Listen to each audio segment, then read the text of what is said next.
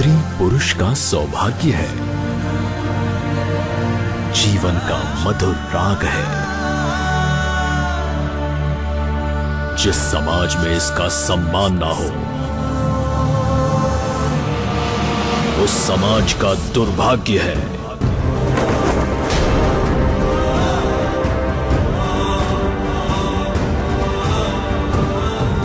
इसकी मर्यादा से ना खेलो इसके आंसुओं में आग है। तुमने द्रौपदी की विवशता देखी है। अब मैं तुम्हारा विध्वंस देखूँगी। ये गाथा है द्रौपदी के अपमान की। 16 सितंबर से रात साढ़े आठ बजे आरंभ होगा Mahabharat powered by Ghadi detergent Star Plus पर।